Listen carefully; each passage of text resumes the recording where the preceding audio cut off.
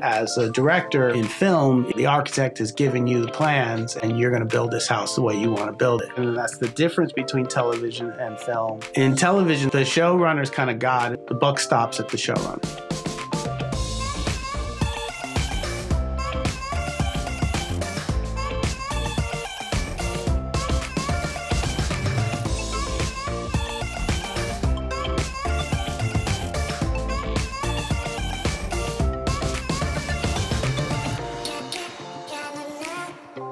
Every joke you hear on a late night show, somebody has taken at least three attempts to beat that joke with a better joke. As a result, there's so much friendly competition because I think everybody is usually on the same page that you're trying to make the best possible show.